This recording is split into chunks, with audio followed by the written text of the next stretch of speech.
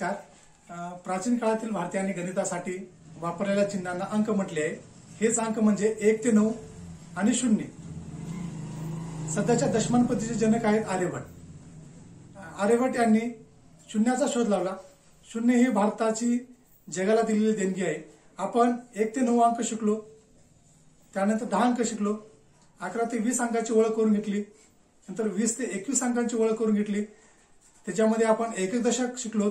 आज आपण एकतीस ते चाळीस अंकांची ओळख करून घेणार आहोत. चला तर मग पाहूया